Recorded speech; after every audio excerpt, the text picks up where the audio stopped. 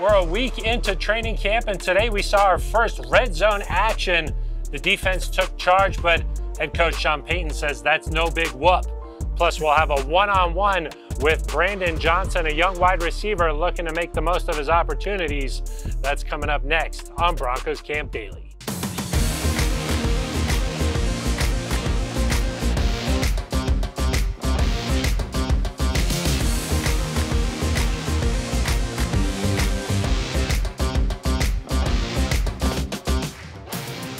Thanks for joining us here on Broncos Camp Daily. I am Phil Milani alongside the Hall of Famer Steve Atwater and our, our Hall of Famer Mike Klis. Mr. Mike Klis. Yeah, no Hall of Fame here.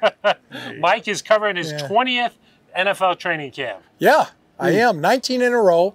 And then I filled in for the great Mike Burrows one year. He had an emergency surgery at, in Greeley. So that worked out pretty well. Well, we're about a week into camp now, Mike. Uh, the pads are on. We saw some red zone action today. Uh, are you starting to get a better sense of uh, what this Broncos squad might look like? Yeah, it looks it does look good. The defense still looks solid like it did last year. On offense, you're asking me at a bad time because I didn't think Russell Wilson had a very good day today. His very first pass, he threw into triple coverage number one. He overthrew number two and into Justin Simmons' gut number three for, for another interception.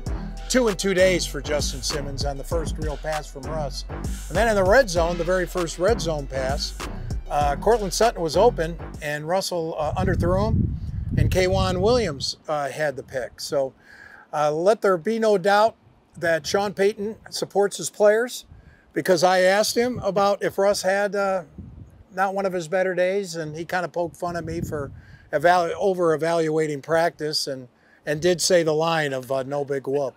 But Mike, you've been to many of training camps over the years, and normally at the beginning of training camp, defenses are kind of ahead of the game, so Yeah. to speak, uh, over offenses. And I think at some point, probably midway through camp, that starts to switch and offense starts to get in their groove. Do you think that'll happen with this team, or do you think, hey, what we saw today is what, what it'll be? I do. You know, before football, I covered baseball, and it was always the pitchers are ahead of the hitters.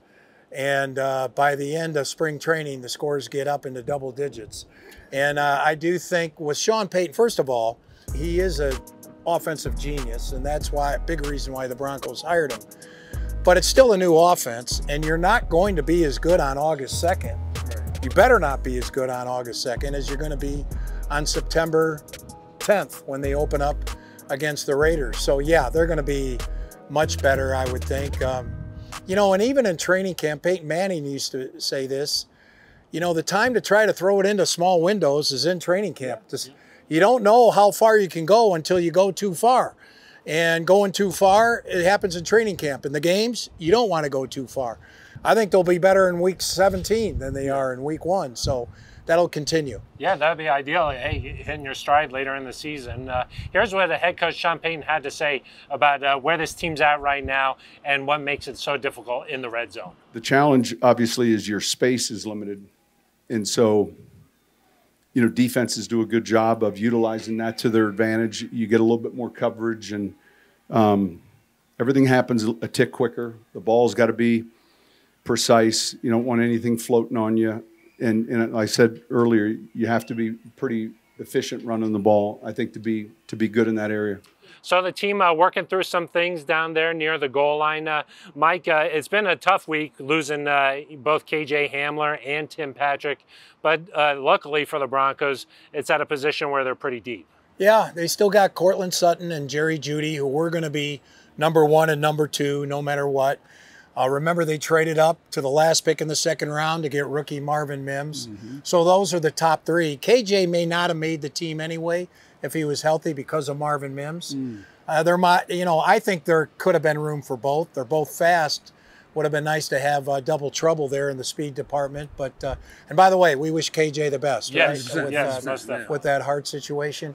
And Tim Patrick, boy, uh, just devastating, demoralizing. Oh, Yeah, I mean, it, it, it's terrible. You always hate to see that for any player. Yeah. Uh, but fortunately, we have uh, some quality depth to be able to uh, fill in for those guys. Plus, to be, you know, a little, you know, straight, cold-hearted, uh, uh, factual about it. You know, they just spent a year without Tim Patrick, so yeah. Uh, this is the second year they're going to be. I think last year was a crucial blow Yeah. because they were counting on him. He was such a leader. It's so productive too, 50 plus catches, 700 plus yards, a lot of touchdowns.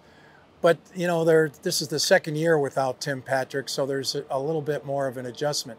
But they still need a couple guys to step up. Uh, Mar, um, Marquez Callaway Yep. and a little Jordan Humphrey, Yep. both from the New Orleans Saints. Uh, they they're going to have to step up. Kendall Hinton, the old reliable. So I, I, I agree, Steve. I think they are pretty deep. I, I still wonder if they'll get one more uh, before that 53 man roster set. Jalen Virgil, you know, he Ja- you got I think speed nice there. young Yeah. You got speed yeah. there. Yep. And another guy is uh, Brandon Johnson. Oh, 100%. Let's go How down. can we uh, not talk about yeah, him? of course, Brandon Johnson. Uh, let's go down field level and check in with Sidney Jones. Thanks, Phil. We're here checking in with wide receiver Brandon Johnson. Brandon, of course, it's been a hard week for the wide receivers here, you know, losing Tim Patrick and KJ Hamler. First off, have you talked to them? How are they doing? Uh, personally, I've given them, you know, I'm, I'm gonna check on them boys today, see how they're going, give them a little space. I'm gonna check on them today, but you know, we love those guys. Uh, I've learned so much from both of them, and um, just praying for them. I mean, uh, God is definitely always in control, so I, I'm a, I got faith in that, and they're gonna be all right. Given that, you know, head coach Sean Payton mentioned that you've get, been getting some more work in with the ones, how you look to take advantage of that opportunity and create more of a role for yourself here? Um, just exactly that, just just taking advantage of it um, in every way possible, uh, showing that I'm on top of my assignments, uh, showing that I'm gonna play hard every chance I get on the field, and, and just ultimately just trying to prove my worth to you know my teammates, my coaches, and um, just trying to earn a place on this team. You know, this is year two for you. Brandon, you know, specifically, what about your game are you looking to improve on at camp the next few weeks? primarily just uh just this confidence in everything I'm doing. Uh, you know, in my assignments, and also just the knowledge aspect of it, from uh, learning coverages, defenses, uh, learning what to do in certain situations. So, uh, from a knowledge aspect, I think I want to definitely improve.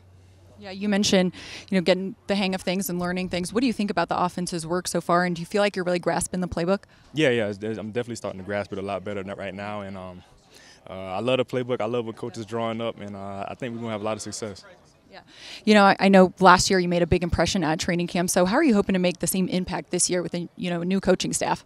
Um, just doing what I do, um, controlling what I can control, and and um, contributing in you know the ways I can. Not trying to do too much, but you know whatever's asked of me, getting it getting it done.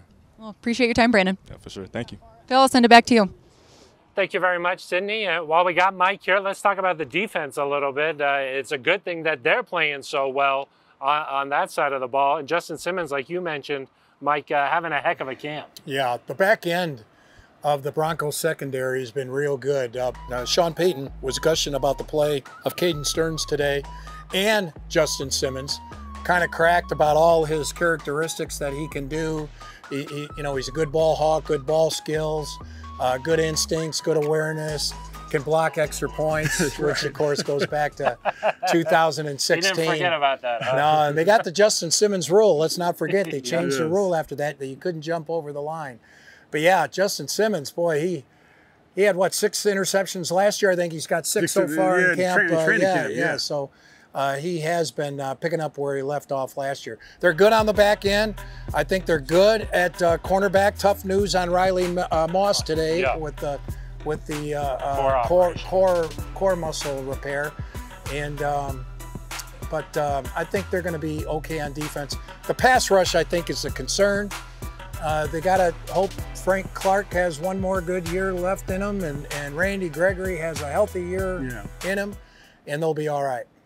All right. Well, Mike, thank you so much for joining us. We look forward to uh, your coverage on Nine News all season long. We got the preseason games coming up. Uh, Yeah, uh, here in on the Big Nine so. News. Yeah, on the Big Nine News this year. Yeah, looking forward to uh, uh, all of your coverage coming up this season. That's going to do it for us. For Steve Atwater and Mike Klis, I'm Phil Milani. This has been Broncos Camp Daily.